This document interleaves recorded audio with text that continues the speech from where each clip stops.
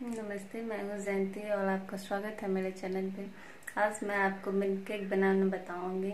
Milk cake बहुत ही स्वादिष्ट और बहुत ही कम इंग्रेडिएंट में बनके तैयार हो जाएगी। ये मिल्क केक मुख्यतः नॉर्थ साइड के लोग ज़्यादा पसंद करते हैं। तो चलिए, आज हम अपनी मिल्क केक बनाने की रेसिपी शुरू करते हैं। तो यहाँ मैंने मिल्क केक बनाने के लिए एक पैन में एक लीटर दूध ले लिया है। इसे हाई फ्लेम पे एक वन आने तक पकाएँ। आप इस पे नज़र, क्योंकि ये हाई फ्लेम पे है तो आप इस पे नज़र रखो, ये उफन उफन के नीचे ना आ जाए। इसे आप बीच बीच में एक दो बार चलाते रहो, जिससे ये इसमें जल्दी उबाल आ जाए। तो अब हम इसे उबलने का वेट करते हैं। इसे बीच बीच में चलाते हुए, ये देखिए हमारी दूध में अब उबाल आने वाली है। देखिए, आ चुकी है तो अब हम इसे लगातार चलाते हुए, इसे वन थर्ड होने तक गाढ़ा करेंगे। अब इसमें थोड़ा टाइम लगता है तो आप इसे gas high high to medium पे उबालें। ये देखिए, हमारी दूध गाढ़ी होनी शुरू हो गई है। तो आप इसे फिर चारों तरफ़ से खुलसते हुए चलाएँ, क्योंकि इसके चारों तरफ़ लग जाएगा तो वो जल जाएगी। और इसके तवे में भी आप अंदर तक करछी ले जाके चलाए। इसे मैंने हाई फ्लेम पे रखते हुए, लगातार चलाते हुए मैं पका रही हूँ। अगर आपको किचन में दूसरे गैस पे कुछ काम करनी है और इसे भी बनानी है तो आप इसे मीडियम फ्लेम पे बनाएँ और फिर भी इसे लगातार एक दो मिनट में, एक दो मिनट में चलाते रहना है आपको। तो इसे हम थोड़ा और पका लेते हैं, इसे वन थर्ड करना है हमें। देखिए, हमारी दूध वन थर्ड हो चुकी है। तो अब हम मिल्क केक कैसे खुदरा रहता है तो ऐसे खुदरा बनाने के लिए हम इसमें अब नींबू का रस डालेंगे। तो ये मैंने हाफ़ टेबल स्पून नींबू का रस ले लिया है। आप इसमें नींबू बहुत कम यूज़ करें। तो मैंने हाफ़ वन लीटर के लिए हाफ़ टेबल स्पून नींबू इसमें ऐड कर देती हूँ। और इसे बस एक बार चला के गैस की फ्लेम लो कर दे और इसे छोड़ दे। अभी आप हाफ़ मिनट इसे मत चलाए। हाफ़ मिनट के बाद इसे आप चला के देखेंगे तो ये खुदरा हो जाएगा। मतलब ये फटना शुरू हो जाएगा। अब हम इसे चला के देखते हैं। तो ये देखिए, ये खुदरा होने लगा है। तो अब हम अपनी गैस की फ्लेम हाई कर देंगे और इसे फिर लगातार चलाते हुए इसे चारों साइड से खरीदते हुए चलाए चारों साइड आपकी मलाई चिपक जाती है ना, उसे हटाते हुए और कलछुल को अंदर तक भिजवाते हुए चलाए अब ये हमारी वन थर्ड से भी ज़्यादा पक चुकी है। तो इसमें अब हम थोड़ी चीनी ऐड कर देते हैं। एक लीटर दूध के लिए मैंने हाफ़ कप चीनी लिया है। आप चीनी एक बार में ना ऐड करें, आप इसे धीरे धीरे ऐड करें। तो मैं इसमें पहले थोड़ा चीनी ऐड करती हूँ। और इसे अच्छे से मिला दूँ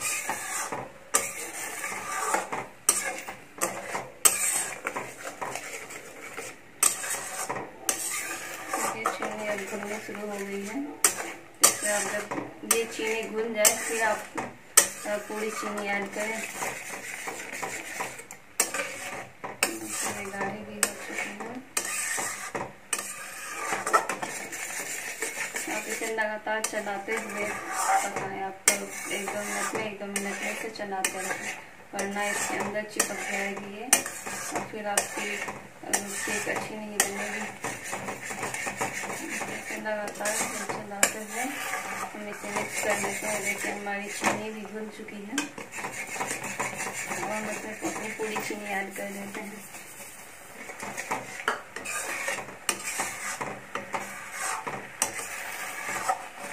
चीनी डालने के बाद ये ज़्यादा चिपकती है कढ़ाई में तो आप इसे हटाते हुए चलाएँ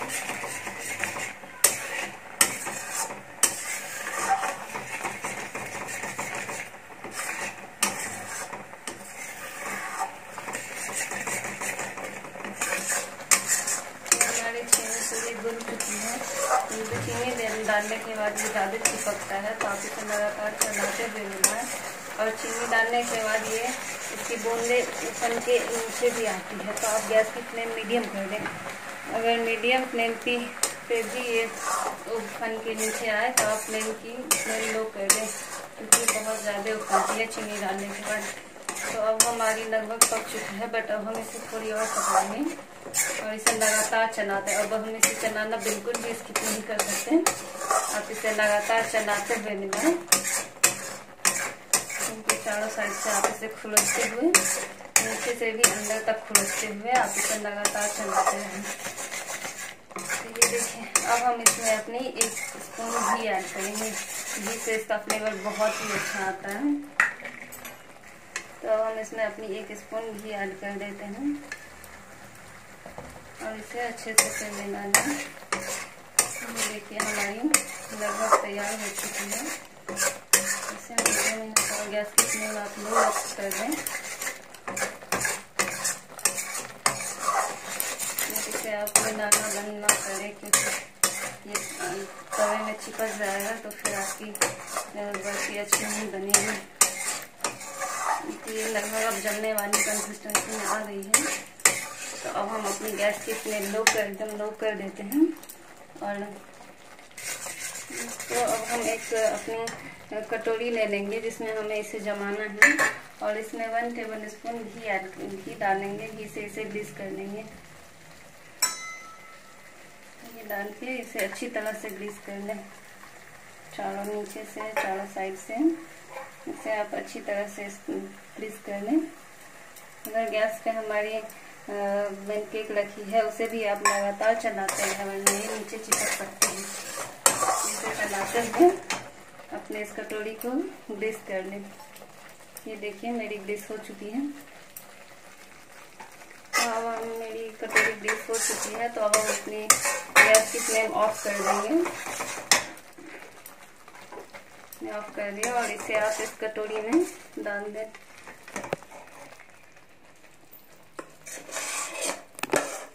देखिए, इसे आप अच्छी तरह से कटोरी में डाल दें।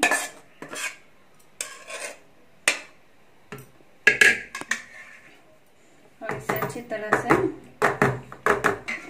इसके अंदर की एयर निकाल लें, थोड़ा इसे दबा दें।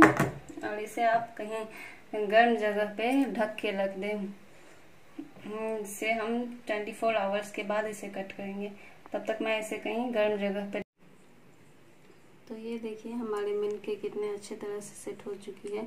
इसे मैंने 24 फोर आवर्स के लिए गर्म जगह पे रख दिया था। आप चाहे तो इसे इससे पहले भी 24 फोर आवर्स से पहले भी निकाल सकते हो। आप इसकी कंसिस्टेंसी चेक कर लेना। अगर आपकी मिन केक अच्छी तरह से जम चुकी है तो आप इसे पहले भी निकाल सकते हो। तो अब हम एक नाइफ लेंगे और इसकी सहायता से मैं इसे चारों तरफ़ से अच्छी तरह नाइफ को नीचे डालते हुए इसे चारों तरफ़ से अच्छे से निकाल लेंगे। इस बर्तन से अलग कर देंगे। अच्छी तरह से धीरे धीरे नाइफ को चलाएँ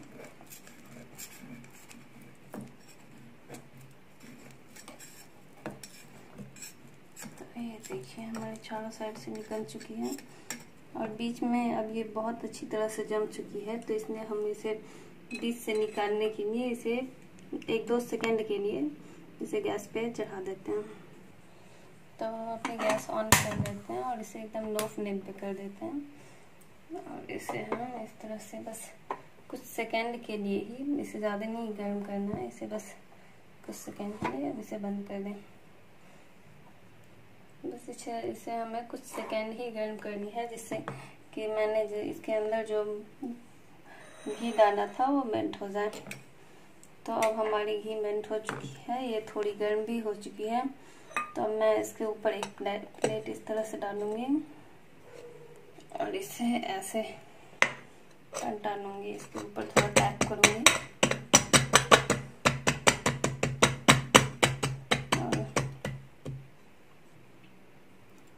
ये देखिए, हमारी मिल्क केक निकल चुकी है। ये देखने में कितनी सुंदर, कितनी दानेदार लग रही है। तो अब हम इसे कट कर लेते हैं।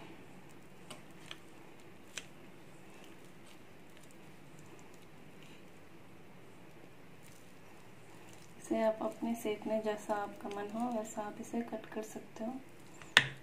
मैं इसे थोड़ा लंबा ही रहने देती हूँ, क्योंकि मैन केक थोड़ा लंबा ही अच्छा लगता है। तो अब हम इसे दूसरे प्लेट में डेकोरेट कर लेंगे। ये देखिए, ये दिखने में कितनी अच्छी लग रही है। बिल्कुल दानेदार।